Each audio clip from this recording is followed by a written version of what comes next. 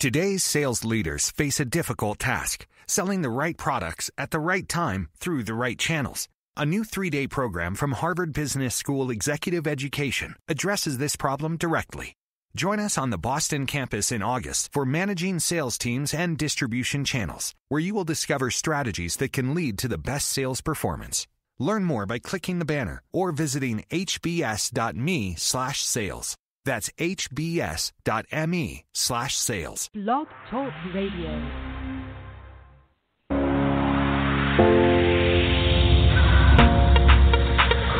Hey,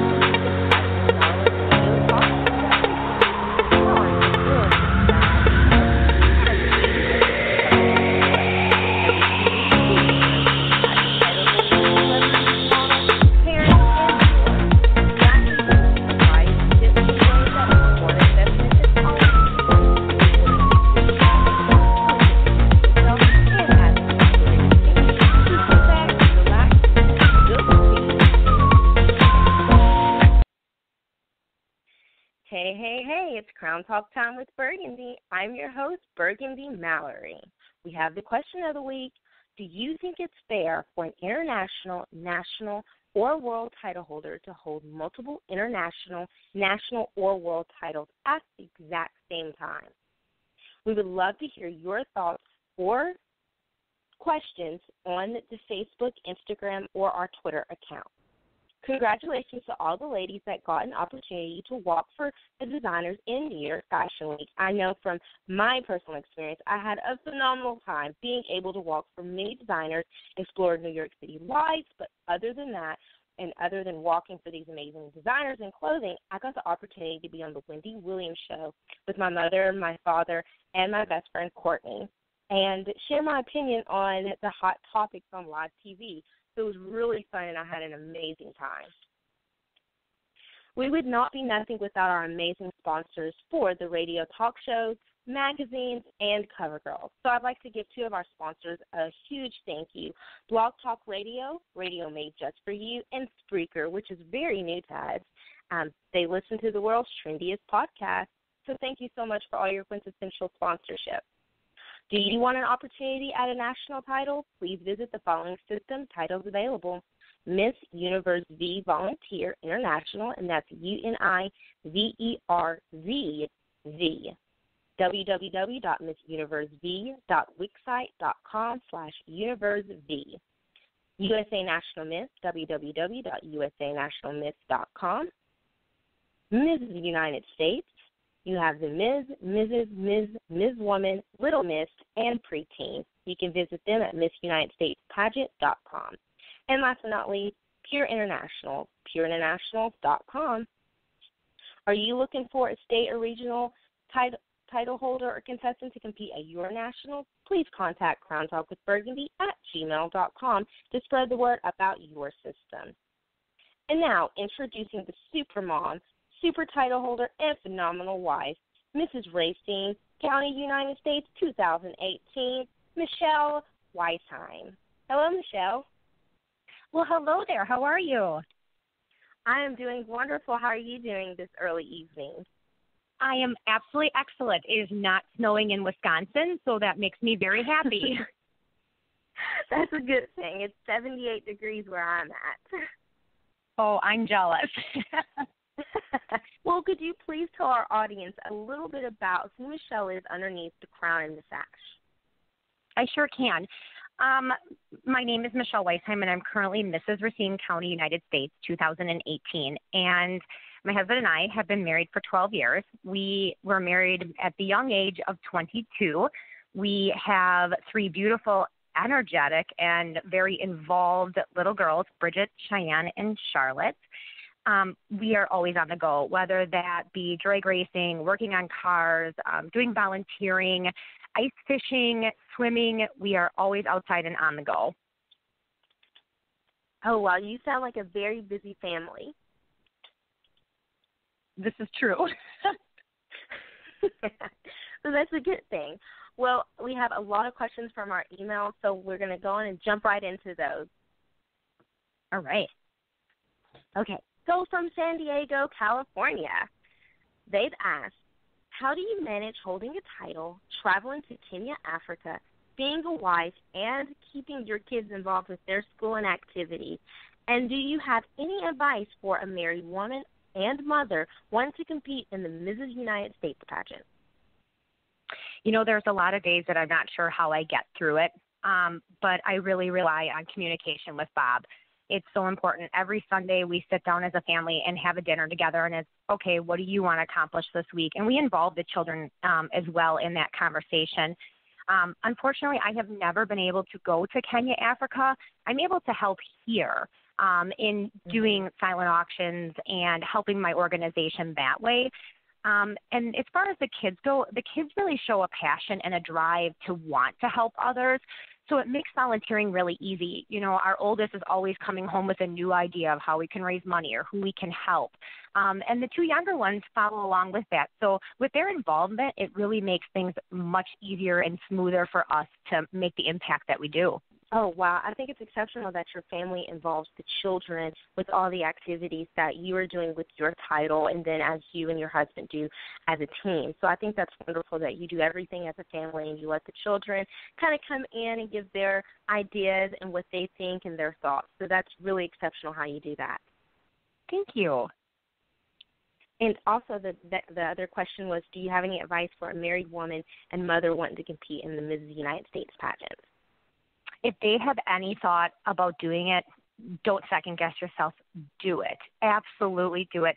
It really is an eye opening experience um, as far as self evaluation and seeing, you know, how much you do as a mom and a wife and a citizen. And the best advice that I would give somebody um, would be be yourself. Be true to yourself and be who you are. Don't mm-hmm. form into anyone else. Just be true to you. I recognize what you're saying. Be true to yourself and be who you are as your individual self. It's all about making yourself really grow as who whatever your name is and whoever you are and what you want to be. So if you want to join the Mrs. United States pageant, you can go to the MissUnitedStatesPageant.com and you can contact the national director. I know if you go on their website, you can go under title holders and go under Mrs. United States 2017 Lauren Zinkler and they will have interested in competing and you can go to find your state and then you can see if you can get an appointed title or if they actually have a pageant for you to compete in and you can get your local title and then head to the state. And hopefully if you win your state then you can go on to nationals which is a phenomenal experience. Our next question comes from scottsdale arizona. They've asked who has impacted your life in the last few years that would be my grandmother. Um, my grandmother and I were very close, and we recently are coming up on her one year anniversary of when she passed away. She was the type of woman that was never too busy to help someone else. She also, a very funny story. When she, her and my grandpa went to prom together, they had buttons in their underwear, not elastic, and her button broke when she was walking up the stairs, and her underwear fell off. And I remember her telling me this story, going, Grandma, that's horrible. And she goes, No, it's not. She goes, It's no different in life. You have to keep going. You have to keep going in life no matter what obstacles, whether it be underwear or a broken shoe. You got to keep going for your dreams and your goals. So she truly, between her and my mom, have been the most in, influential, influence, the most impacting people in my life. well, I can definitely see where you have a lot of her spirit in you. You are influential just like her. You think like her, and you have a positive outlook on life, just like your grandmother, and of course, as your mother. Yes, absolutely. Well, our next question comes from Bowling Green, Kentucky. They've asked, You have volunteered in over 30 cities in Wisconsin, traveled over 4,500 miles, has over 50 appearances, and 200 plus service hours. Wow, I'm just saying that was a lot to say. That is amazing. what appearance has been most remarkable in your books, other than building four schools in Kenya, Africa? You know, it's really kind of amazing to hear hear the service that I've done in the last year. Um, I, my family and I have been so blessed to do multiple appearances, as you know. Um, one of the the most unique appearances that I was able to do was right in my little home country town of Waterford, and I got to do a special needs prom. And we, me and my husband, were able to get all dressed up and be able to provide a prom and a really fun environment for those that typically wouldn't be able to have a prom. And there's one other one that is tied. Um, we did one that was called Rock for Vets, and that was a really unique um, appearance that it got all kinds of motorcycle people and veterans together, and they were so warm and welcoming. And we learned about people that were building little houses for veterans. And I think it's so important that we appreciate those that have served. So those are the two that are pretty top on my list. Well, I'm going to kind of fall back on the prom that you and your husband created. I think it's very superb that you created a, a prom, and it's very imperative that you gave back to people that did not have a prom of their own. So they actually got to go back and get that special moment in time that they probably would have never had if you wouldn't have come up with that wonderful idea. Right. And you know the energy the energy in that room was just phenomenal. With the three kids we think we're tired at night, but let me tell you, Bob and I were exhausted. It was it was an amazing event. I I can tell. I'm oh man, I wish I could have went.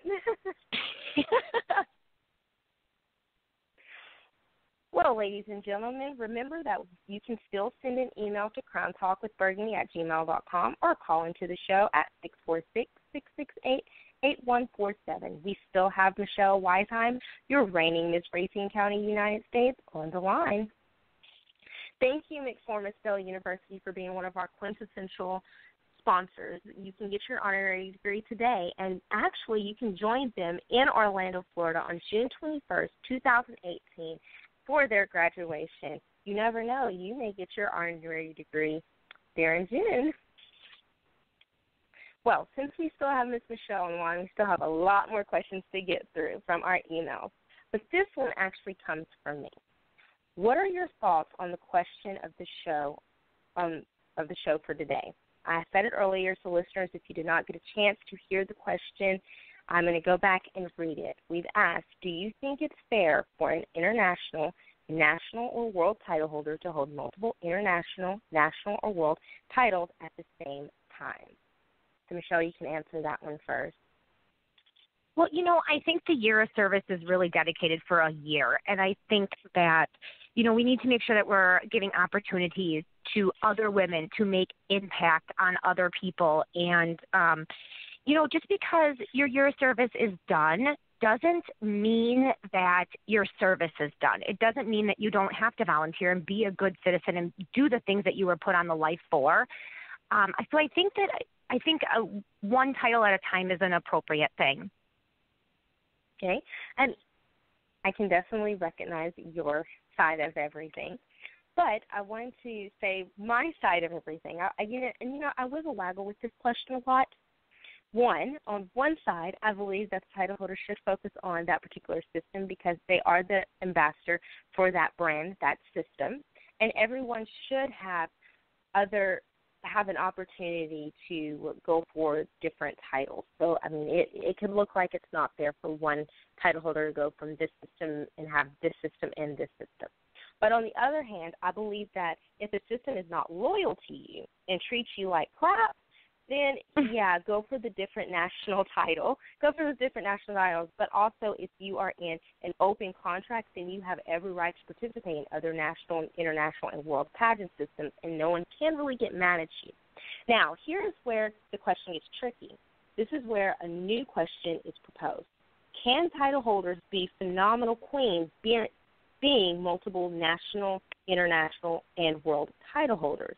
If yes, if they are extremely organized and driven, then yes, they can hold multiple titles. But not everyone can do it effectively.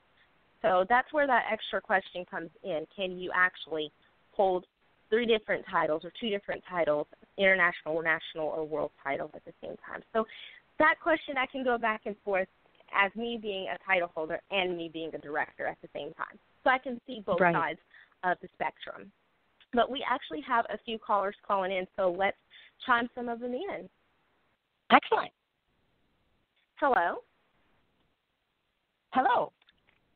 Hi, how are you? I'm good, and yourself? I am doing wonderful. And who are we speaking with today?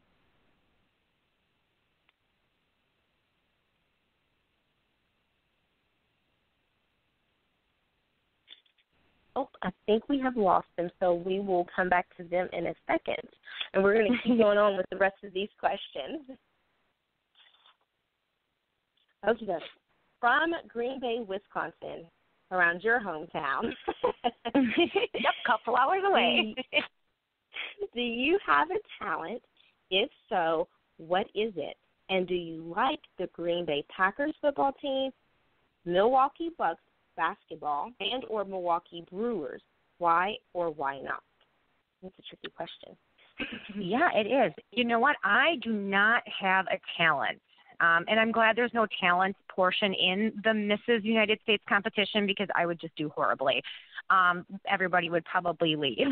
um, um, as far as the Green Bay Packers, Bucks, and Brewers go, um, my favorite team, I like them all. I have to root for my home my home teams. Um, I've been to Bucks games, I've been to Brewers games, and I've been to a Green Bay games. So I've experienced those things. I have to say the Packers are my favorite. I mean, Aaron Rodgers, come on, how can you not love him?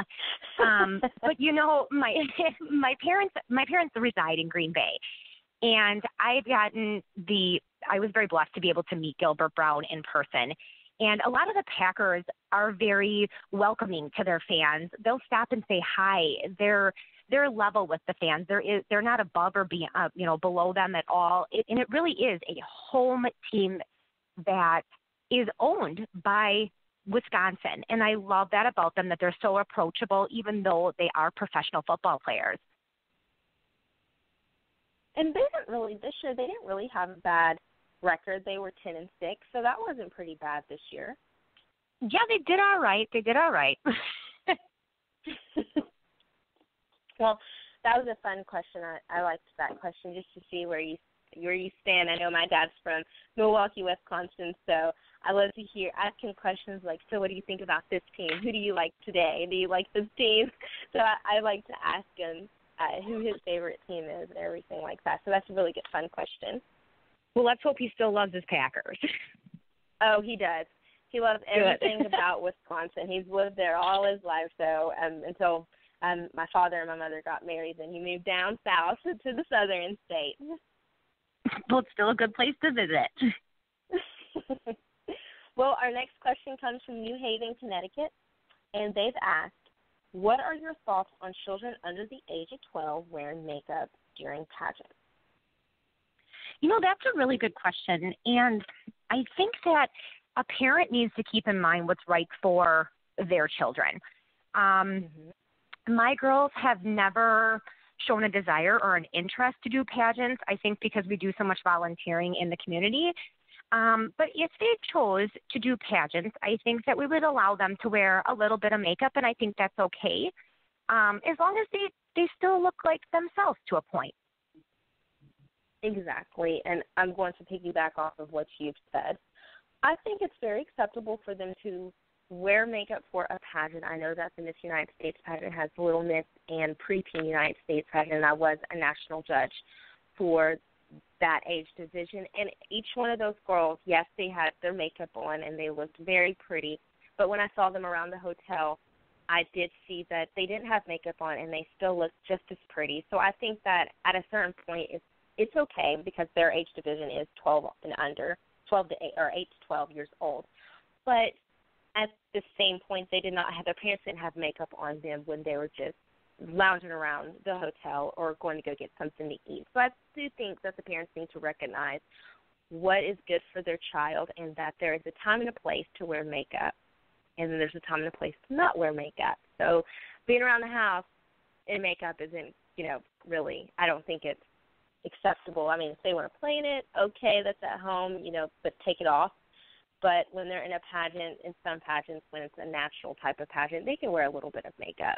And then you do have it's one of those questions like the other ones. I wiggle waggled it. I did the Miss American Co-ed pageant system, where uh, until you're a preteen, you're not allowed to wear any makeup if that shows their natural beauty. So it kind of just depends on the system you're with, if they can have makeup or not, and then it also depends on what the parent wants for their children. If they don't want them to go into the makeup phase yet, they can do things like that, where they do not allow them to have, you know, makeup yet. And I can understand where they're like, we don't want my child to grow up too fast.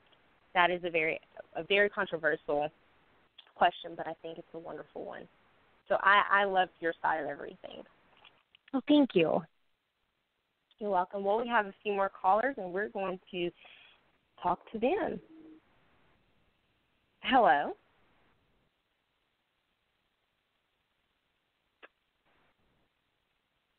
Okay, I think we're still losing some people, but that's okay because we've got a lot more questions to go. but first, before we keep going into these emails that keep coming in, I would like to thank our sponsor, LuLaRoe by Kimmy Height. Every piece has its own story. So thank you. I know that she dressed me for New York Fashion Week, just going around, and I absolutely loved my little gold dress and my blue and uh, gold dress that they had that she um sponsored me, and so I love all the outfits. So if you want to go get yours, go to LuLaRoe by Kimmy Height. So wonderful sponsor right there. In addition, I'd like to give another quintessential thank you to Double Hoops Exposure. More in-depth recruitment. You can visit them at www.doubleexposureho.wixsite.com slash double exposure suit. Well, our next question comes from Boise, Idaho. They've asked, if you could change one thing about yourself, what would it be and why?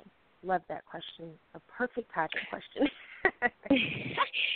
um, you know, I I truly think that each individual person is made the way they are. But if I had to pick one thing, I would probably go from stick straight hair to curly hair because it's kind of a pain to have to sit with a curling iron for an hour trying to curl my really straight long hair.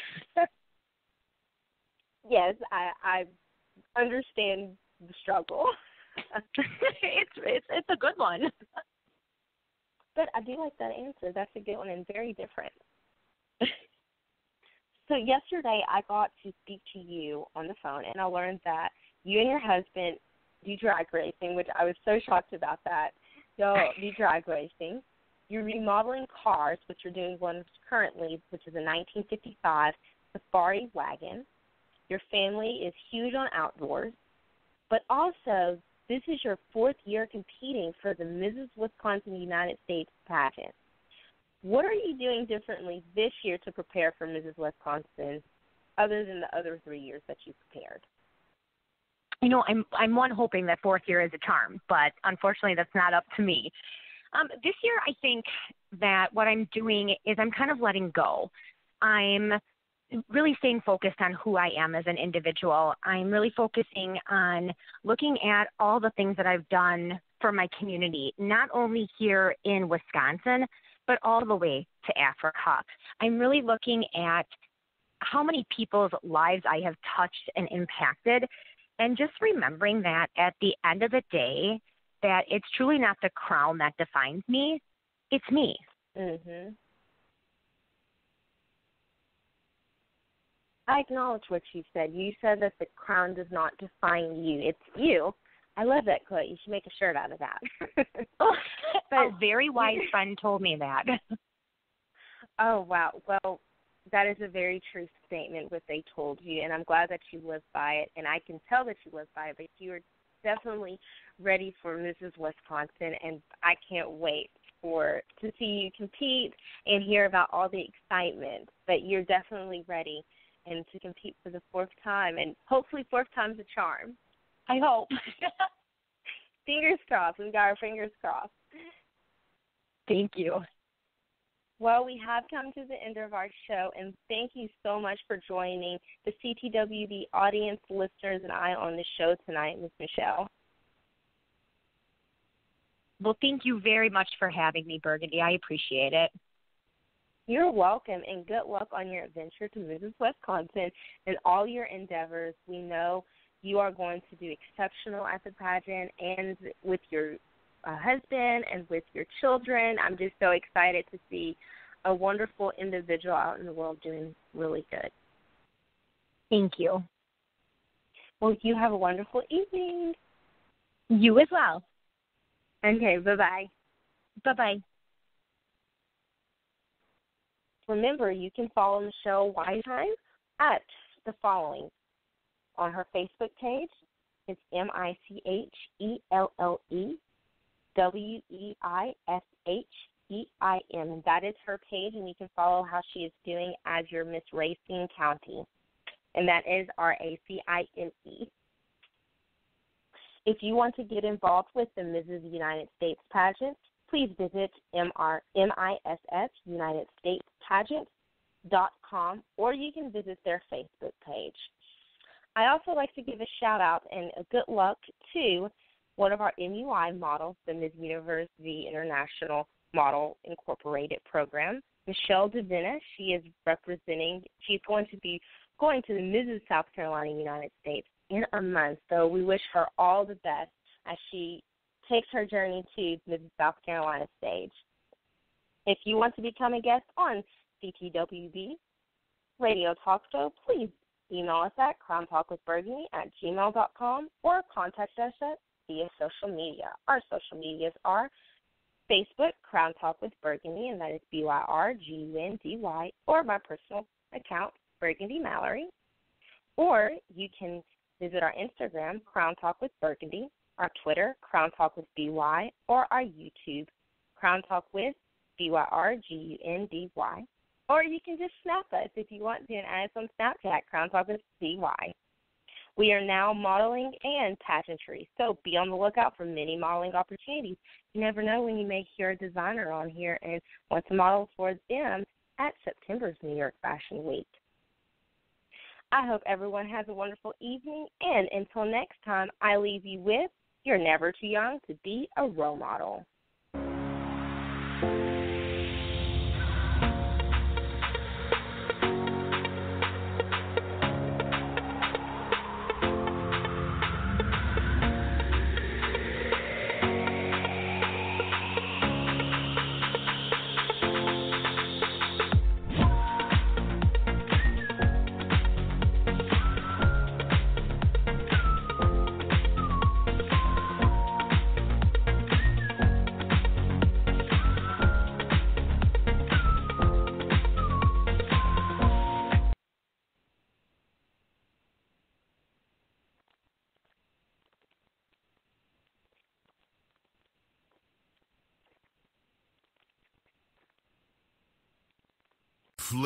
Seared, Greek seasoned gyro meat. This is the kind of meat that only a legit gyro place would get.